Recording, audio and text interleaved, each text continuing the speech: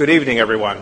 I'm Richard Wendorf, the Stanford Calderwood Director and Librarian of the Boston Athenaeum, and it gives me great pleasure to invite you to an evening devoted to the question of comic fiction. Uh, we have a panel discussion this evening. Uh, I'm going to introduce our three novelists. Uh, they're going to uh, hold a discussion among themselves, and then they will throw the room open to questions and answers. And then afterwards, uh, during the reception, uh, all three of them will be signing copies of their books.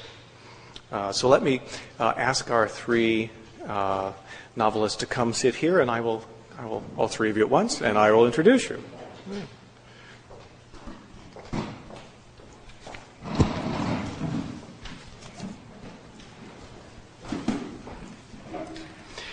Mameve Medwed is the author of three novels Mail, Host Family, and The End of an Error.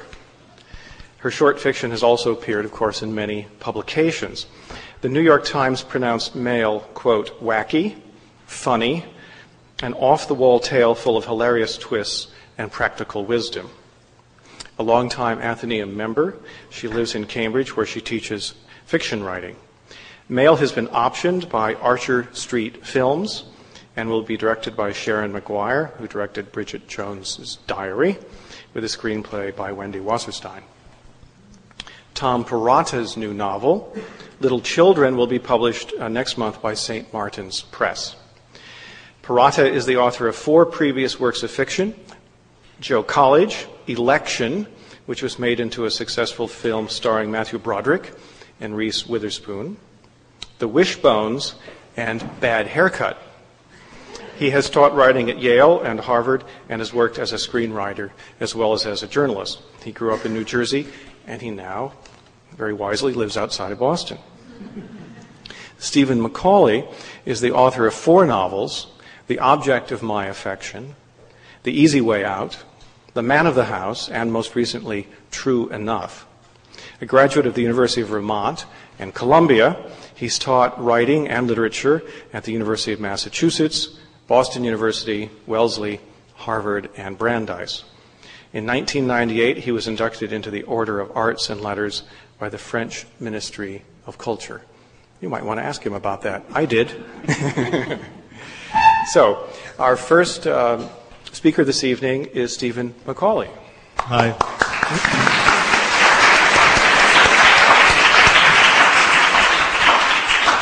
Welcome and thank you for uh, braving the crowds uh, to come here tonight. We did plan on staging a uh, costume malfunction, but um, the leather bustier did not make it back from the cleaners. And it's the only one I own, so we're not going to do that. Um, a few nights ago, Mameve and Tom and I got together over pizza to discuss the program for this afternoon. And um, the first thing we did was to check the Athenaeum brochure to see what we were supposed to talk about. Um, and when we saw that it was the, the comic novel, we were initially um, quite relieved uh, because we all, at least in our minds, write comic novels, and we were therefore reassured that we wouldn't have to do a whole lot of uh, research to prepare this talk. Um, but the more we discussed it, the more uncertain we became. Given the fact that everyone loves to laugh and that no one will admit to having a, an impaired sense of humor, you would think that the comic novel would be a revered and rewarded literary genre. And yet, if you look through the um, canon of American classics, you find a list of some of the most brilliantly, articulately, and impressively unfunny writers to put pen to paper. There's, for example, Theodore an American Tragedy, Dreiser, uh, John, The Grapes of Wrath, Steinbeck, Willa, Death Comes to the Archbishop, Cather, Ernest, For Whom the Bell Tolls, Hemingway, uh, Nathaniel Hawthorne, Herman Melville, and James Fenimore Cooper. Um, insightful, intelligent, and supremely talented, of course, but uh, funny, there's probably a copy of the Deerslayer in the stacks here. You should uh, check that out to, to decide. Somehow or other, Mark Twain made it into the canon, but at least once a decade, a writer such as Jane, the Age of Grief, Smiley, comes along and tries to push him out and replace him with um, Harriet Beecher Stowe or someone equally dour. The British, with their love of wit and their depressing climate, um, appear to have a higher tolerance for the comic. There's Daniel Defoe and Charles Dickens, Evelyn Waugh, Kingsley Amis, P.G. Wodehouse, and the ever admired Jane Austen. But on both sides of the Atlantic, it's rare that literary prizes are awarded to comic novels. Richard Russo has said that an unspoken rule for the Pulitzer Prize is make the judges laugh, and you've pretty much ruined your chances. Um, the Pulitzer was awarded to what is arguably the funniest novel ever written, A Confederacy of Dunces. Um, but I suspect the judges felt that the author's tragic suicide mitigated some of the hilarity of the, the book itself. Um, in a recent review in the New York Times Book Review, novelist Louis Bayard wrote the following Few foundlings enter the world less auspiciously than the comic novel, distrusted by publishers, disowned by publicists, cold shouldered by literary panels and MLA conferences, the grimy urchin takes its place in the back of the shelf and pleads for love. Who has the heart to tell it that laughter is the least predictable or explainable thing in the world? That the most a comic novel can hope for is the slow, easy smile of recognition and then oblivion.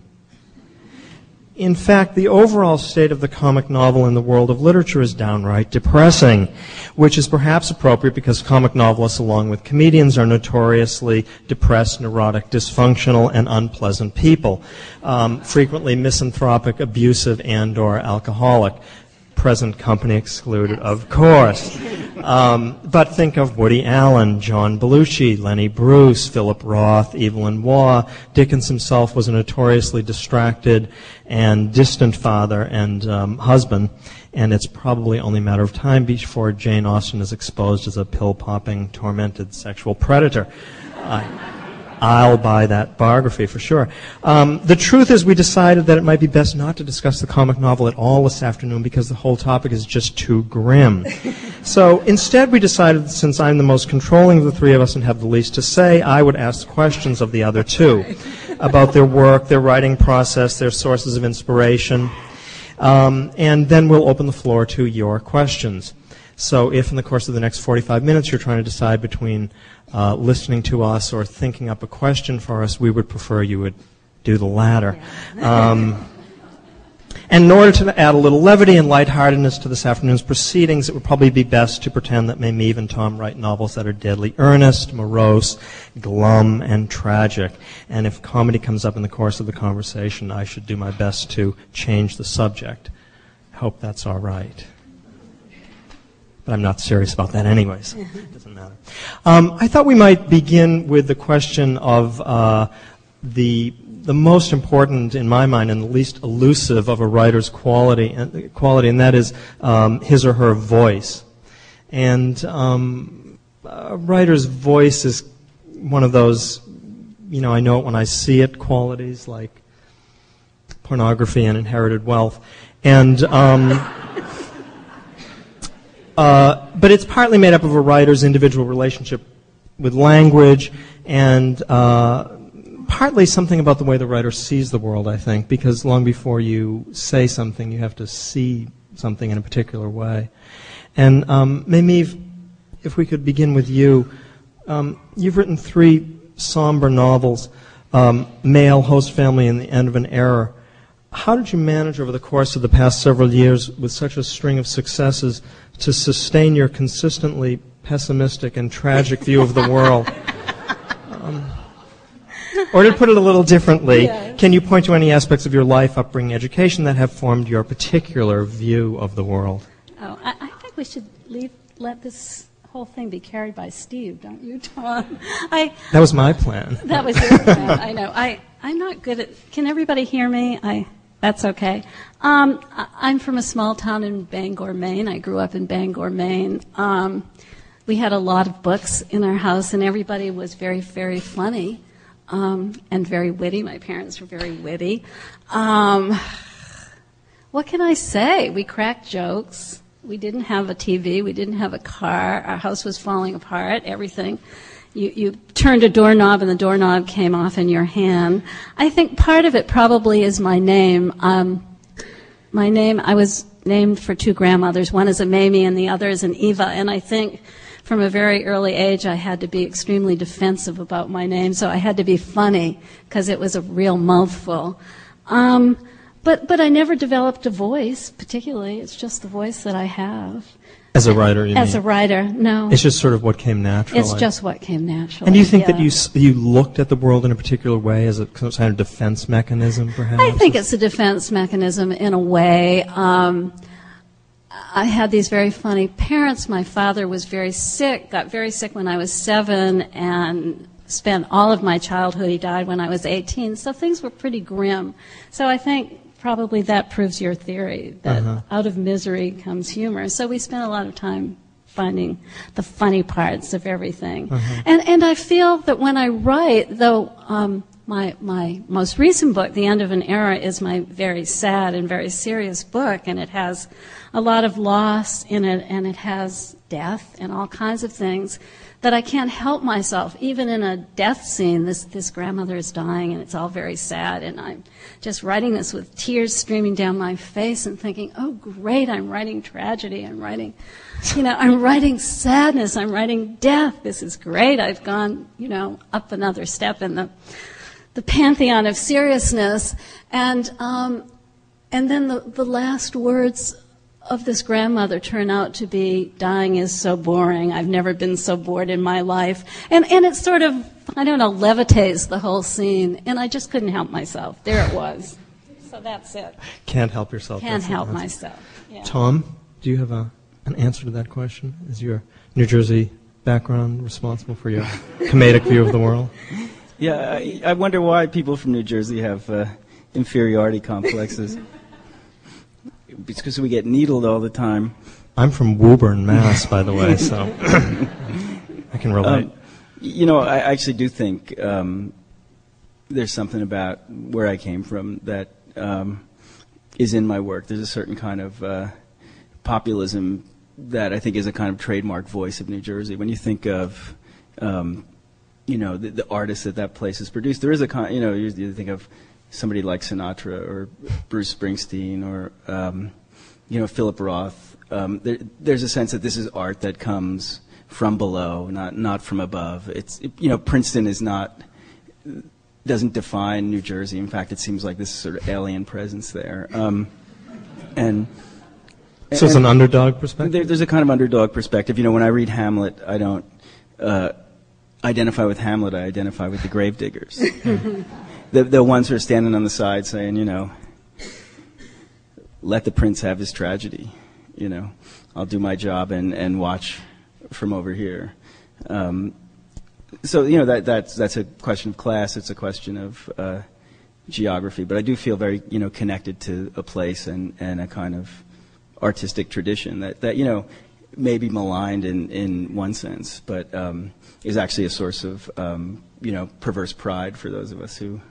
Uh, So it is, is it a question of looking at that other world? I mean, perhaps looking across the river to Manhattan or something and, and um, making fun of it to some extent as a way of well, protecting oneself? That's right. Well, there's some element of that. I mean, it's it's a complex stance, but I think I think at the heart of it is some decision not to take yourself Uh-huh. so seriously. You're, you're you know right from the time you're, you're aware of things that you're off to the side a little bit. You're not in the center of it, and the Uh-huh. only power one has being off to the side is you know making smart remarks under your breath. So if you laugh at yourself first, then you're less wounded by. uh, Yeah, yeah, and I think it, also then you're a little bit less of inward looking and therapeutic. You kind of make fun of yourself and then you move on Uh-huh. uh, to to the rest of the world. So you, you I think, I never got to the move on stage, but anyway. right? Well, that's that's uh, that's my sense of it. Yeah. Um, Mameve, um, I see your husband Howard is here in the audience tonight. So I don't expect you to answer this question honestly, but I'll ask it anyway. Um, your first novel deals with a writer's intensely passionate love affair with her mailman. How'd you come up with that idea? my poor poor husband. Um, well, we, some of my neighbors are here. I, I recognize a few of them, and we all have this wonderful um, mailman, Joe. I won't even know last names, and um, who's been I don't know 20 years or 15 years, hasn't it, or for quite a long time. And anyway, I've always I, I wrote before I wrote my novel. I wrote short stories, and if you write a short story, you put it in a self-addressed Manila envelope, and you um, send it out, enclose the self-addressed, um, self-stamped envelope. And anyway, um, one day my mailman rang my doorbell and said, "Could I ask you a question?" I said, "What?" And he said, "Why do you keep getting these Manila envelopes all addressed to you with the same handwriting?" So I explained that they were my stories coming back from the New Yorker in my self-addressed stamped envelopes. That they were all my rejects, and he looked so sad he looked so sad and he said, Well, maybe one day I can bring you an acceptance. And, and I went inside and I shut my door and I thought, you know, really, in the life of a writer, who is the most important man? And that's her mailman. so I, I do think, you know, so I spun it up from there and I do think it has been slightly embarrassing from him for him, but maybe not. You know, I think he got a lot of um, guff down at the the post office. And in fact, every so often, um, I guess you have to change your uniform so you look spiffy every year or something. So he gives me all his old uniforms. So I have. Wow. I have a bag. I have I have a It's winter. a real fetish. I have a winter coat and a summer coat. I have a hat with ear flaps, all saying U.S. mail. So I, I now collect mail memorabilia. And um, I, I want to ask Howard a question, but um, are you ever required to wear these outfits, Howard? in Italy, her book had a title, The Man of Eleven O'Clock, which refers to a male visitor who comes to a married woman at 11 o'clock. what a great idea! Isn't I love that that. great? Yeah. Well, um, I mean, most people assume, I'm, I'm afraid, that, that uh, novelists are always writing their autobiographies and that Absolutely memoirists are. not. Absolutely no. not. And memoirists are just making stuff up. Um, At least that's what I think. but um, uh, your second novel, Host Family, deals with exchange students and head lice. Um, do you have any experiences with either of those that you'd care to share with us? I think everybody's going to flee from all my books in this audience. They so, sound so awful.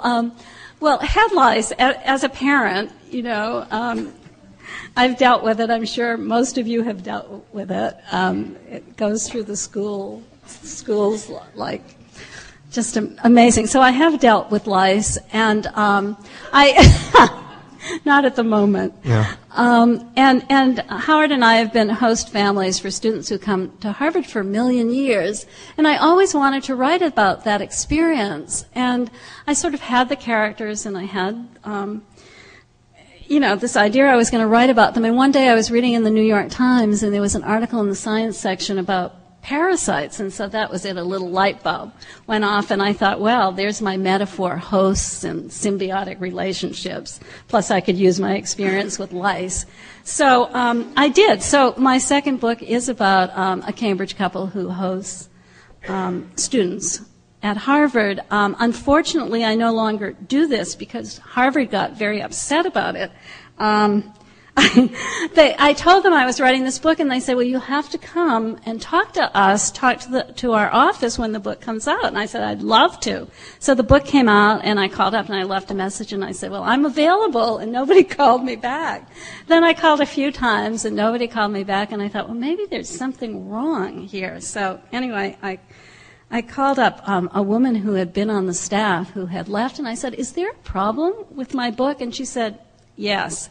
I said, What? And then I thought they were going to say, Oh dear, you know, people have affairs and all kinds of things are going on. But she said they were very upset because in one of the scenes um, in the novel, at a reception for foreign students, jug wine was served.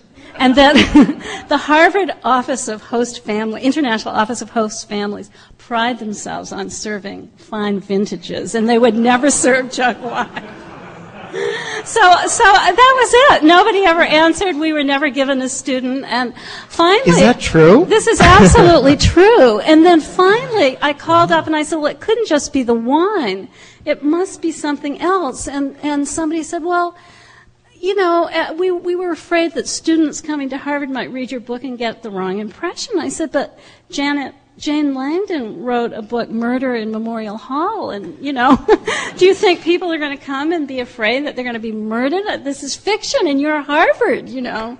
And so, anyway, nothing happened until I was talking to Di- Diane White of the Globe, and I told her this story, and she said, that would make a great column. And she started calling up the, the office, and they didn't call, return her calls, but she left a message. And the day after she left a message, somebody from that office called me up and said, We have a student for you. so, anyway. That's Wow. a very long answer. No, it's And, and I had my Massimo story. Did, did you want me to Sure. put that. Well, the, the other. Well, let me just add. Um, some of you have heard this. I, I apologize. But but one of the things um, every year when we got a student, we always asked for an Italian because Howard was taking t- very badly Italian lessons, and we thought, and we love Italy, and they said they never had an Italian, and finally they called us once and they said, in fact, they had an Italian, and we said, great, and. Um, this guy Massimo called us up on the phone. Usually they write a letter. He called us up on the phone and said, um, you know, I'm going to get a doctorate in economics and I'm coming and I can't wait to meet you. And they didn't live with us. We just had them for meals and stuff. So I said, well, call us the minute you come and my husband will come pick you up and we'll have you come for dinner. So he called me and he said he was in student housing on Oxford Street. And I said, Howard will come and pick you up. And he said, he won't have any trouble recognizing me. I'll be outside and I'm seven feet tall. So I said, what? So then I, you know, I asked the obvious and stupid question, which was, do you play basketball? And he said, um, yes, but I don't anymore because I'm blind. Bye. And he hung up the phone.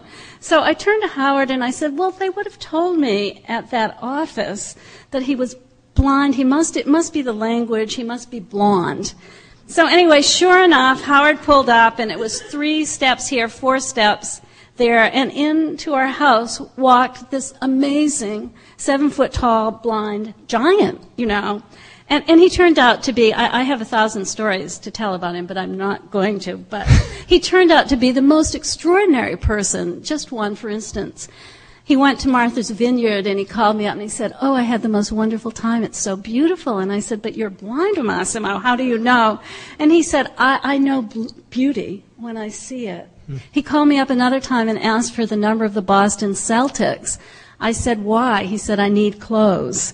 And he, he was Italian. He called Ra- Robert Parish and he got the name of his um, tailor on Charles Street and got this great. But but when I tried to write about him, this is when I tried to write about him, I realized I could not write about him because fiction needs a logic that real life never has. So that in in in reality, here is this seven foot tall, amazing giant. But as soon as I put him in the page, he wasn't real. He wasn't believable, and it didn't work.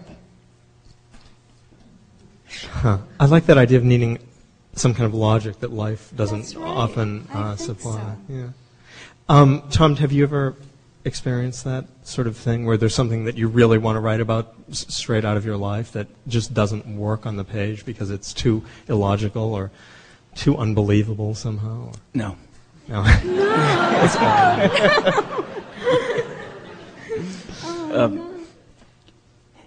Y- You know, if, if I, I mean, this may sound, uh, uh, what, uh, you know, it may sound arrogant in some in some way.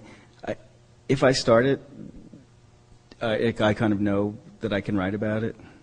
I, I you mean once you begin writing? once I begin, if, if an idea sticks in my head long enough that I actually get around to writing it, um, uh, then I know there's there's something there.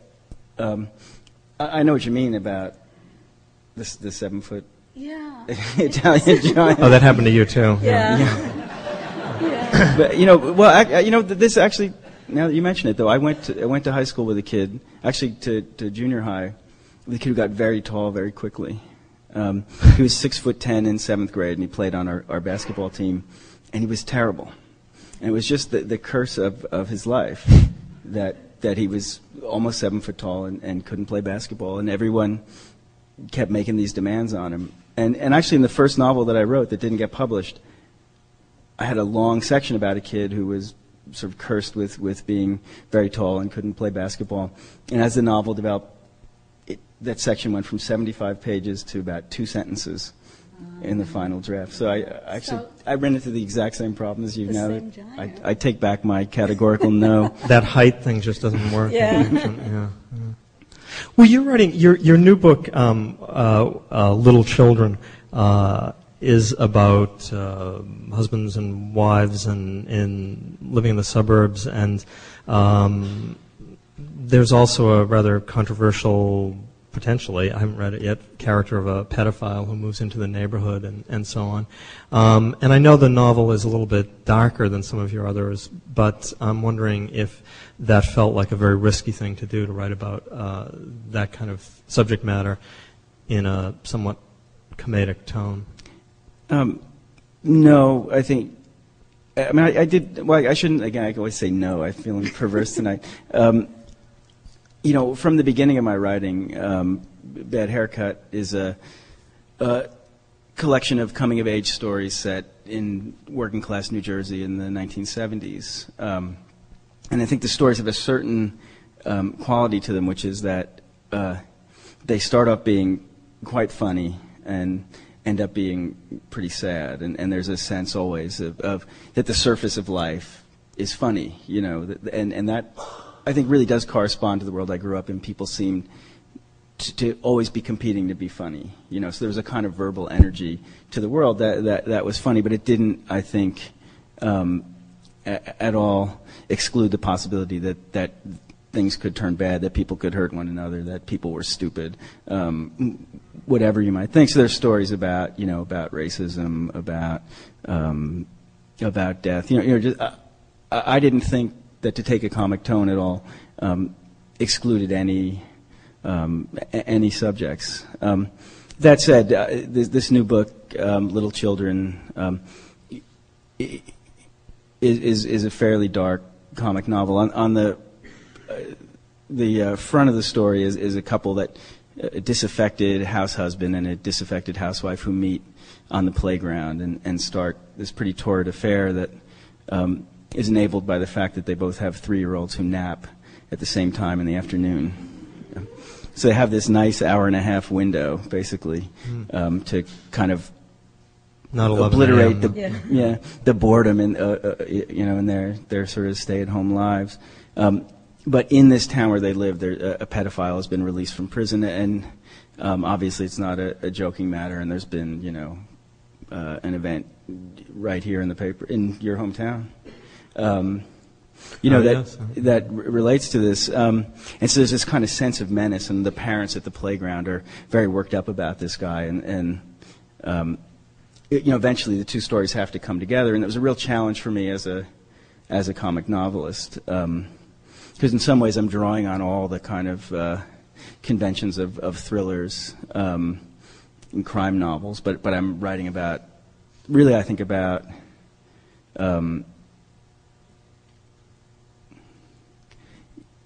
the, some, something that, that John Updike wrote a lot about too. I think at, at a certain point, you know, um, the tension between the role of the parent and being a sexual being out in the world, which in some sense being a, a perennial adolescent, you know, and so um, it's about sex and parenthood basically, and, and there's a, and the tension between those two roles um, about you know wanting to fulfill your appetites and needs and, and you know needing to rein those in and be responsible for somebody else. And, and um, throughout this world you know people are kind of trying to balance those tensions. And and what was hard for me as a writer was figuring out how far I could go.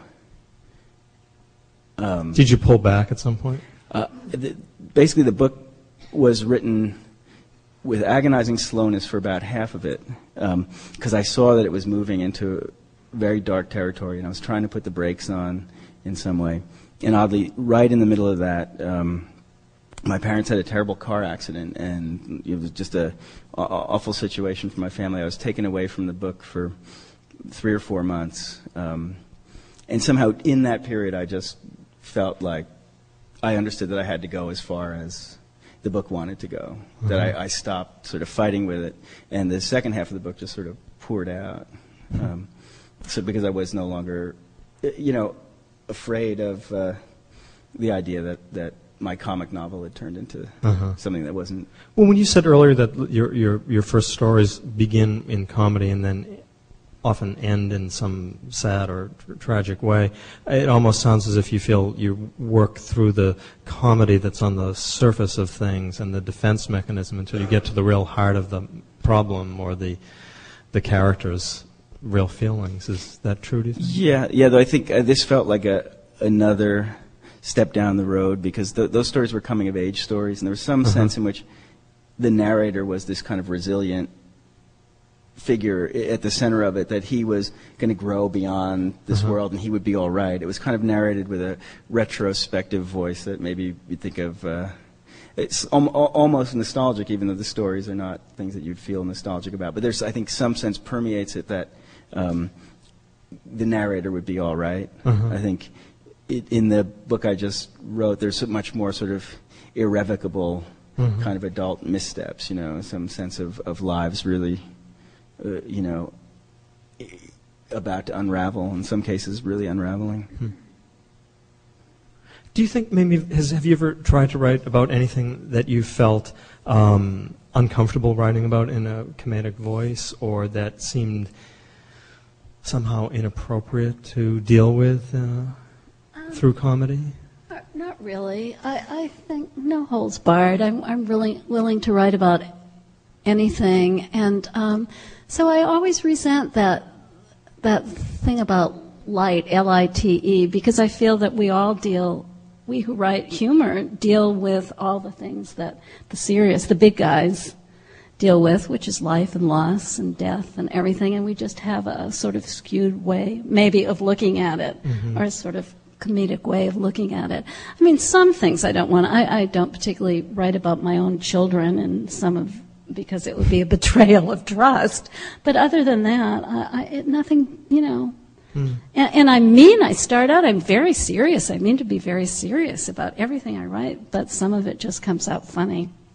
Well, I always felt, you know, I, I write a lot about uh, gay characters. I don't know why, and um, had never felt comfortable writing in my particularly ironic voice about AIDS, for example, simply because, uh, well, there are a lot of reasons, but you know, it just never seemed appropriate somehow, and I always tried to write it into my novels and felt that it was somehow not funny uh, that there was something taboo about it. That perhaps I didn't wouldn't have owned that subject quite enough. There are some things that just can't be written about in any kind of comic well, way. No, I think you're not willing do, to. Yeah, people do, but not for you. Yeah. yeah. yeah.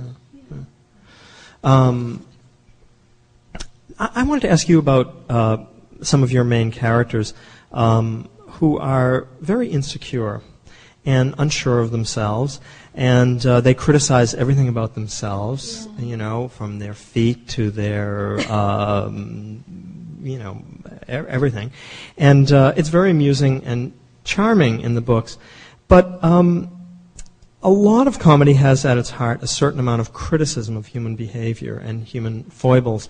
And I'm wondering if um, in any way, having a character who is very uh, self-effacing or self-denigrating uh, frees you in some way to look at other people a little more harshly, perhaps.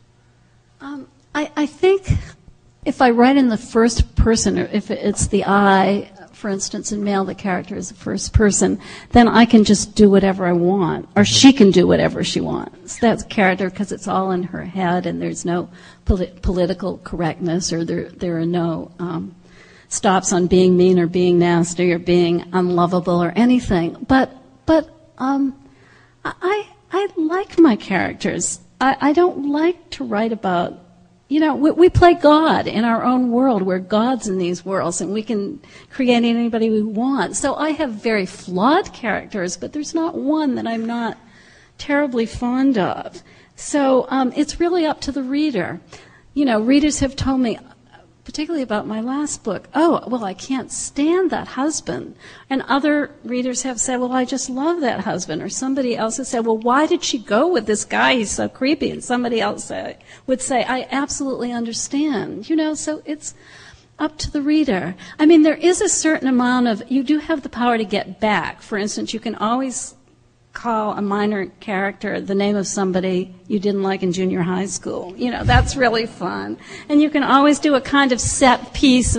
I have in one of my books uh, uh, just a terrible reading. You know, this character goes to a reading and she has to share um, the platform with somebody else who's a, a dog trainer, and just you know, all of that person's books are there, and none of hers, and there's a line out the door for the other person's books, and nobody buys her books. That kind of thing. That's so lovely that I have the power to write about that. That kind of thing. But they're always little set pieces, and they're less mean than just sort of therapy, I think.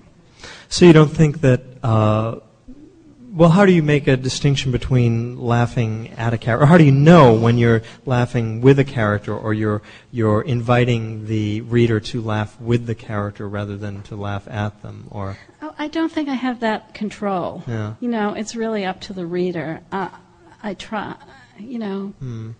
But do you ever? Do, what do you think, Tom? Do you ever are ever aware of that? I mean, the, in, in, election, for example, um, you know, there's a lot of misbehavior by characters, and in some ways, um, they do a lot of inadmirable things, and, and, and some of the characters are quite reprehensible. Um, but do you have a sense of? Yeah, well, I think I was going to talk about the wishbones, which, which, okay. um, and I'll get back to that. But, but in election, um, I, I think what what my method there was to do was again, to get that out of the way early, uh-huh. basically to evoke each of the characters as a kind of um, comic high school stereotype, and then allow them to do something at some point that made you realize that they were bigger than that. Mm-hmm. Um, in, in Tracy's case, to let you see into her home life and, and then in, into her, her kind of existential loneliness, you mm-hmm. know. Um, and, you know, Mr. M, to see him basically as, as somebody thinking that he's protecting the the weak from the strong. I mean, basically, just giving everybody their reasons and and you know allowing them both their folly and and their kind of um, their dignity of, of actually being motivated by uh, reasons that they can actually explain to themselves. Uh-huh. Um, so that, that they, they get to be laughed at as types and then become complex characters. I think it'd be bad to do it the other way. Right, um, right. Yeah. Um, if not impossible. um, my book, The Wishbones, is about a bunch of uh, serious rock musicians who didn't make it in, in that world and became a wedding band. Um, and they, they were based really on, on, people I grew up with who I really admired. You know, uh, I went away to college thinking, oh, these guys are going to be stars, and I came home to see them in tuxedos, you know, playing feelings. Um, and uh, I think I wrote the book. I thought as a kind of tribute to them and a, and a, real sense of like, what do you do when you know your dream kind of runs out of gas? Um, and some of them say, "The hell with the dream. I'm going to become a you know a regular person." And some of them keep going, and, and this was the way some of them did. And I thought, in a way that, that I, I treated them fairly. The, the Times review, uh, which is a very good review, but but but started out by saying, you know, these guys should seem like a bunch of losers, but they don't. And, and I thought, okay, that, that's good. They understood the book. But the guys that I was writing about were really hurt by that. That the bare facts of their life would suggest that they were a bunch of losers. Um, but, but just for instance, in that, in that book, one of the characters um, is writing a, a, musical about the Kennedy assassination. Um, and at a crucial moment in the process of seducing this woman, he unveils his um, his demo tape of the Kennedy assassination musical. And for a lot of the, the writing of the book, I knew that I was moving toward a description of what this musical was. Um, And- Springtime for Lee Harvey Yeah. Oswald. Yeah. isn't it? Yeah. And uh, what was essential for me as a writer, and, and not to get into this laughing thing, you, basically the idea is funny enough. And what happens in the execution, of course, is that um, it's actually surprisingly good. And the woman is very moved by what she hears and, and sort of falls in love with him um, at that moment. And, and uh, I actually, whenever I read it, I get sort of choked up. It seems like a very. Um, So it's not meant to be. It's not. It's not meant to point her out as ridiculous. You really. No, no. I, I mean, I, I, and but but it wasn't like I started out. I started out thinking this will be a great comic opportunity for me to write a hilariously bad, you know, producer Right. style, um, you know, set piece. And then as I approached, realized that you know I respected the character too much. Um, there's something wrong about fundamentally wrong about the project, but he does it about as well as you possibly can, given the fundamental wrongness. Do you think? I mean, uh, my opening comments about you know uh, the American uh, literary canon and so on. I mean, they're a little bit exaggerated, to put it mildly. Um, and certainly, there are a lot of writers. Uh, I mean, Edith Wharton, for example, despite Ethan Frome, did write a lot of uh, very funny books and stories and so on. And Mark Twain is perhaps the great American writer. I mean, who knows? But um, and certainly there are a lot of great writers who are uh, comedic in in certain moments.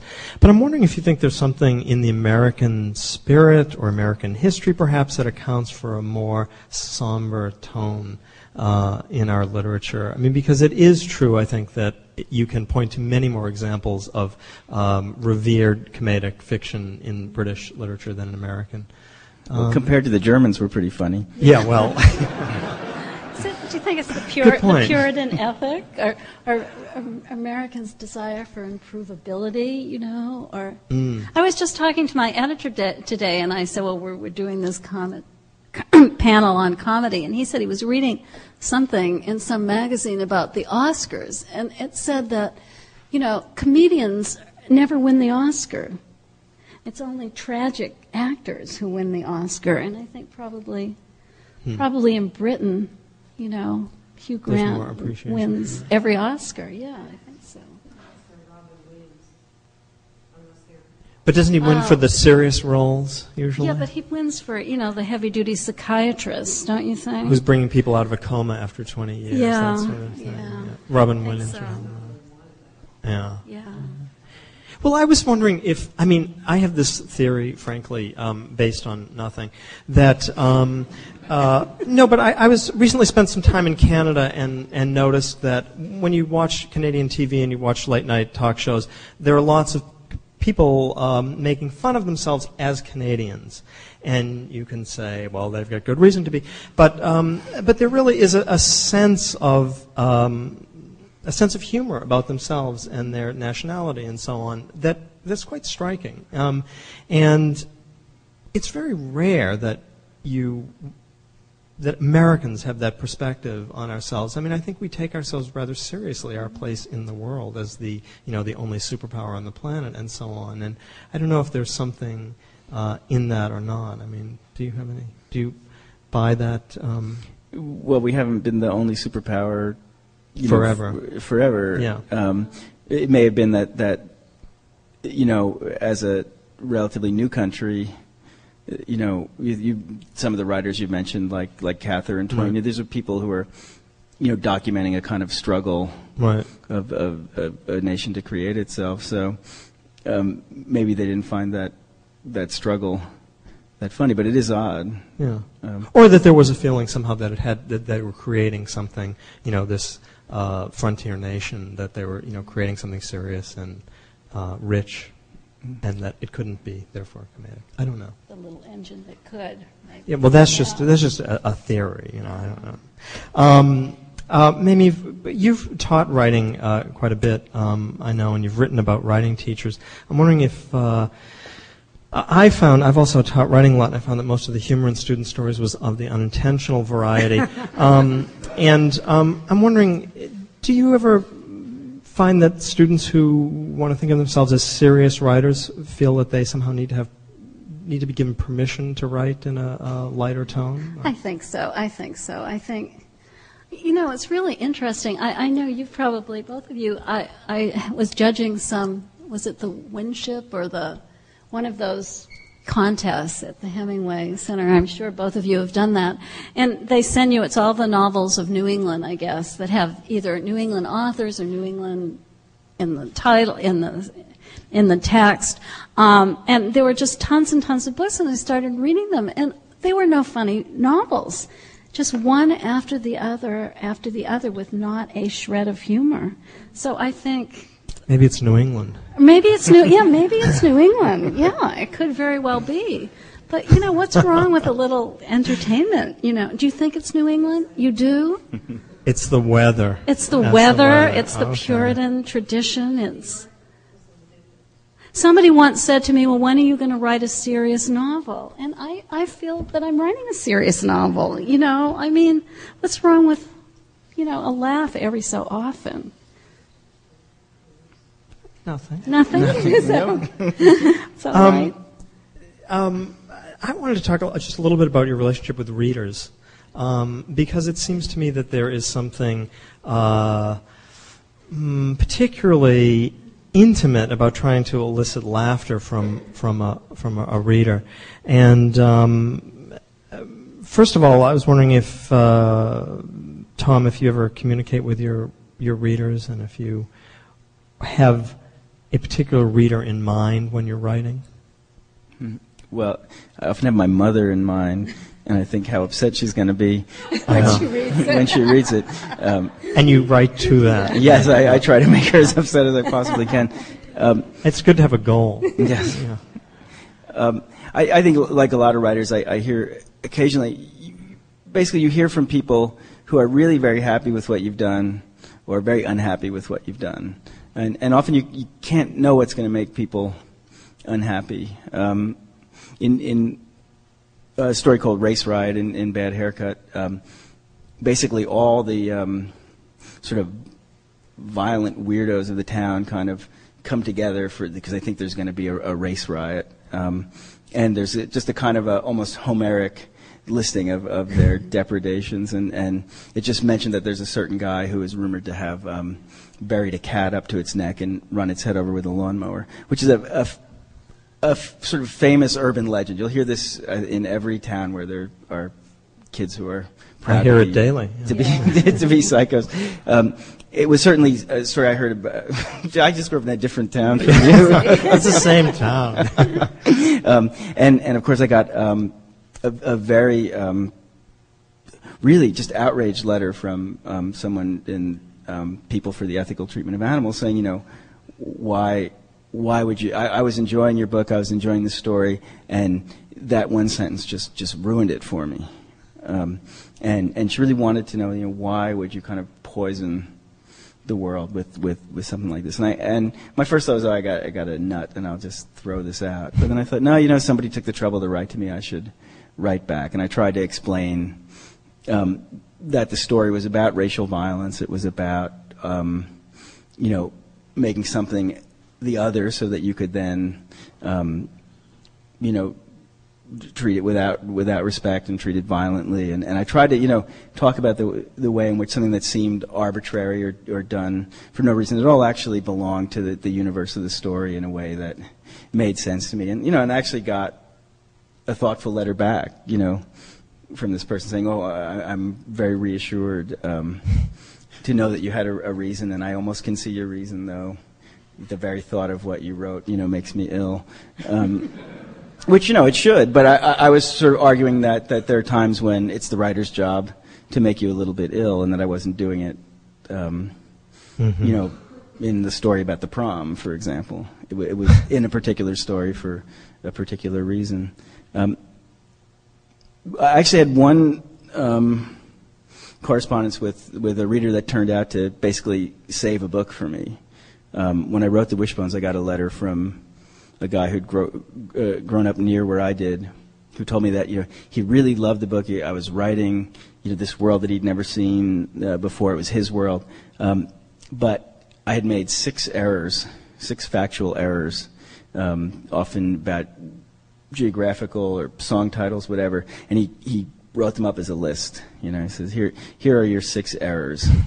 Um, and he finished by saying, so to spare yourself this sort of embarrassment in the future, why don't you send me your books um, b- before they're before they're published, and I can check them, and you won't you won't look foolish again like you do now. Um, and again, I was about to throw throw it away, thinking, you know, with fans like these, I, you know, don't really need critics. Um, but then I, Or fact checking, Yeah. copy editors. Or anything. but again, you know, I, I, I thought. I, I read it again, and, and it really was couched in all this sort of praise and some almost some sense that you know we were in this together, you know, and that he wanted us to, to be as good as we possibly could be. How does he feel about your mother? and uh, and so I wrote back and I said, well, thanks. You know, um, I took issue with a couple of his uh, corrections, and and but I said, you know, I don't need a fact checker. What I really need is is a lunch truck driver, because I was writing a book called Joe College, which is about a, a Yale student whose father has a lunch truck, and he goes home for spring break and he drives it, and lots of crazy things happen. And I I tried around here to find a lunch truck driver. And it's a very insular world, you know, and, and I'm not from it. And I'd go up to these guys and I'd say, look, I'll, I'll pay you, you know, if you let me just sit in your truck and drive around with you and find out how your business works. And I, I couldn't even get like, like no, it'd just be like, you know, get the fuck away from me, you know. I, I just couldn't get near these guys. And, and I wrote to my, the, my critic and he wrote back and said, you know what, my best friend drives a lunch truck. and he'll be happy to, to take you around. And he did, and, and it saved the book. Right back to Uh, those right back, pranks. Absolutely. Um, Mamie, what about you? Do you have a? Uh, I do, and I brought a letter that I'm going to read Okay. uh, from one of my readers. It says, Dear Miss Medwed, I am a dental hygienist who writes what I call a fun column gratis for the Los Angeles Dental Hygienists Society newsletter. the state one and other journals called Hygienists in Print, Fiction and Nonfiction. It includes anything to do with dentists, hygienists, and dentistry. What I try to do is give an insight as to why the dental aspect was included, but I don't critique the work. Included in the column are what I call dental tidbits to nibble on. I am always happy when someone mentions a dentist or hygienist or teeth because I always hope it, it will inspire someone to call their dental office to set up an appointment. I promise you. It may seem insignificant to you, the dental hygienist mention, but I consider any time a hygienist is included a fantastic moment. This is probably because it is rare to see hygienists in print or any other media. I must say we are on the rise. I thoroughly enjoyed reading Mail, read it in one sitting, and I look forward to your next book. I liked cover and chapter pages. Of course, the dental hygienist mention made it a little extra special for me. uh, now, she said, uh, then she said, I would like to include Mail in my cameo appearances of hygienist column that I am writing. Is it possible to answer a few questions? Here are the questions. One, on page 11 you write, I should move back to Old Town and become something more suitable to my abilities, a dental hygienist or a grammar school crossing guard. Question, is there any special reason that you included a dental hygienist? Two, on page 37, your description of Katinka includes, thanks to braces, a discernible overbite. Any reason for this? Three, page 193. Katinka and her mom are talking, and Katinka mentions that she's read somewhere that widows aren't supposed to make sudden decisions. One place you include where she had read that is a dentist's waiting room. Any reason for that location? I have a question about a word on page 277. You write, I read everything as you should recall. I was in the bathroom. I finished with the news articles. I went to the toothpaste bottle and the box of soap comes in. Did you mean toothpaste bottle or box or tube? That was a mistake. If I'd only gotten this on my galley. B. Your dental tidbits are on page 331, toothpaste, 45, chiclet teeth, 64, 65 silver filling glints, 82, 97 two front teeth of an eager beaver, 115, 135, 164 rick rack teeth, 198, 204 pages heading including dental hygiene. Glad you to see you included that. 244, 247, 265. Have you written anything else with dental goodies in it? Any input would be greatly appreciated. Her email is loissmile at AOL.com. so, I mean, I can't say anything. I can't add anything. Some people really do have too much free time. I know. Well, I have a lot of other questions, but I just can't imagine topping that. So um, I think maybe we should end there. Um, I brought one thing. Can I read? Could you bear? I brought one other thing that I wanted to read. Yes, I would briefly. love to hear it. This is by. Is it about this, teeth? No, this No. is by a very famous writer in my neighborhood named Stephen McCauley. This is an email you sent me. Steve and I sent emails back and forth. Now, wait a minute. No. we whine and complain. But this is about, this is, I found this, and it's about um, comic fiction, and you wrote it, and I think it's brilliant. He talks about, um, I feel such kinship with that horrible feeling that after all, we're just writing these pointless domestic comedies and really should be lined up and shot for unleashing them into the world. But how can I feel that way when the books I most like to read and in some ways respect the most are the small domestic comedies, the Barbara Pyms and the Anne Tylers and Muriel Sparks? There's a lot of other stuff I adore, but even rereading Anna Kay recently, it was the smallness and intimacy of so much of it that struck me as brilliant, not the vast scope. The pleasure for me is in the selection of tiny moments. And when I think about all this in terms of other writers, I think that writing this kind of smart, funny, and uh-oh, entertaining fiction really is the highest calling in some peculiar way. It's what I most enjoy reading and what seems to be the most underappreciated in the big world of critics. And it is hard work to do it well and make it funny and make it true, and that's what's so often overlooked. And you so often make it those very things. I mean, poo on all those serious novels about someone drowning in the pool and getting raped by daddy. I'm sick of them.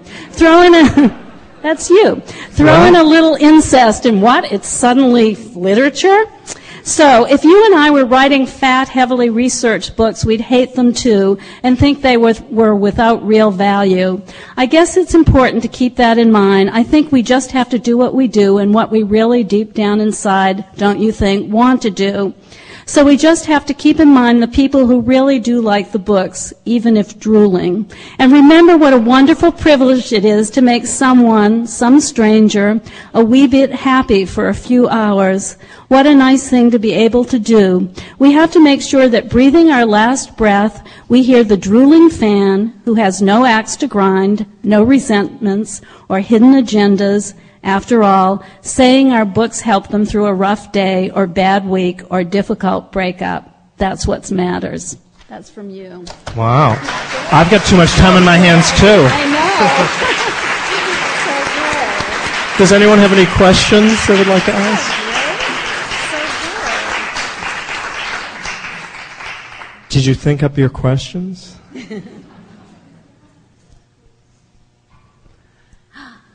yes. question, which is, how has the comic novel changed from the ones you read many, many years ago? Have they gotten uh, evolved or devolved? Has the comic novel has the form changed of the comic novel over the years? There's more sex. Mm-hmm. bad Yeah, I wanted to ask about sex, but Yeah. haven't- yeah. I mean, I think we're freer to write anything. I think I think there's more uh, sort of hybrid novels where you know comedy some aspect um, rather than like the the pure comic writers, the Wodehouses and um, you know the, those New Yorker writers who were doing you know humor. Say, I mean humor. I guess there's still humor as a genre, but it's not Yeah. really a literary genre quite so much. Well, you got David Sedaris Yeah. maybe, um, and and some other people. Um, I don't know. There's probably less sort of purely verbal humor. Uh, you know, I, I, I love the writer Thomas Berger, who is sort of uh, a, a little bit forgotten these days, but but was I mean just just his sentences they're just little adventures, you know, the, and often there's some very funny gap between the inflated rhetoric and, and what's being described. Um, it's a very old form of, of humor um, that he mm. was probably the last uh, r- real master of. But that, that's a specific case. I'm not sure I know um, if I could speak to really broad trends in terms of, of humor writing, comic writing. Mm-hmm. Yeah, I'm sure. It's we an interesting a, question. Though. We need a scholar on the panel. Yeah. yeah.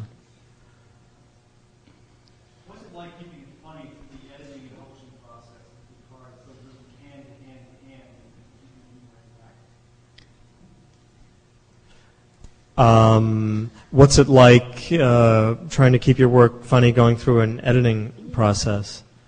Well, I mean, one difficult thing is is that no two people find the same thing funny, funny. or amusing or anything else, and and I think a lot of it uh, you just have to go with your gut instinct.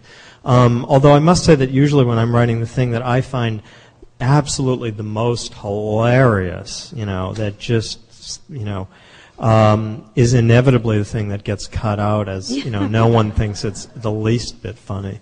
Um, I think it helps to stay. Um, for me, it, I, am I'm, I'm very um, you know depressed, um, just generally unhappy person, and it and there's something about maintaining that level of you know misery that generally, and when when you're editing a book, it you know that's kind of increases. And, and sometimes it's just a matter of pulling back. If you've got three jokes, you know, you get rid of two and you keep the one good one. Or in the editing process, it, it just goes, you know, sometimes too too far over the top. So it's just pulling back and pulling back and making whatever is there pure and, and zingy um, and undiluted by anything any other stuff around it.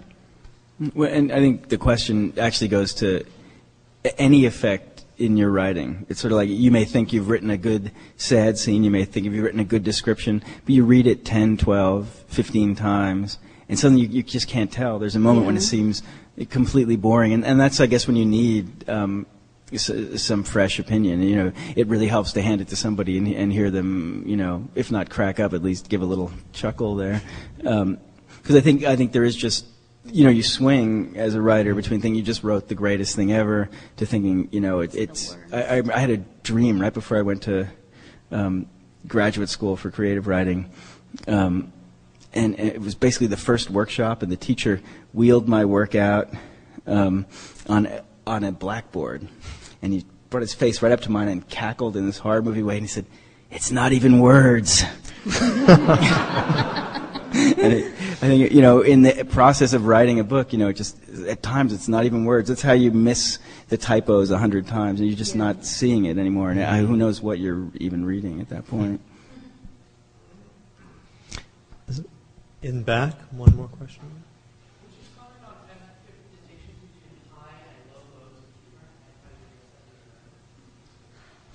The difference between high and low modes of humor. Um, well, I know where I come down in that spectrum. Um, I, you know, I don't. I, certainly, that's nothing that I would ever think about in any conscious sort of way. I mean, f- for me, um, comedy is always a tool to get to look a little bit more closely at characters and at some kind of something that I consider a truth about human behavior, and um, my own my hope is that if that if one keeps it truthful, um, that no matter how exaggerated it is around the edges, that um, it gets at something that has some kind of significance, perhaps for the reader, or perhaps just for me. But um, and then that high or low comedy doesn't matter quite so much. Um, in my mind, anyway. You don't want cheap jokes at the expense of the well, story. I don't know. No. no, I don't. No. Well, see, I, I, grew up in a very um, repressive Catholic family, and I wasn't allowed to use bad language, and really, really took that to heart till about age 13, when I kind of broke through that wall.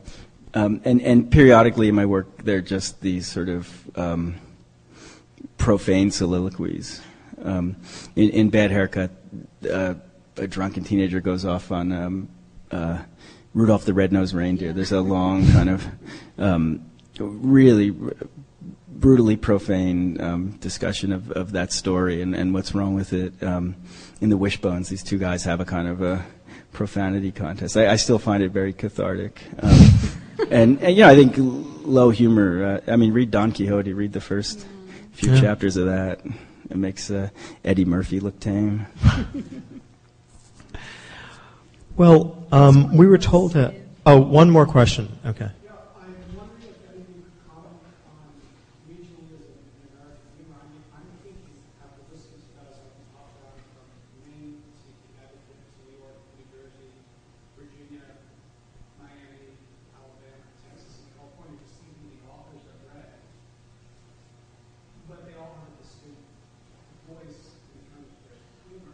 And it seems, I, I I can't comment on anybody in Massachusetts except you guys, but when you talk about how you would describe humor to an American literature.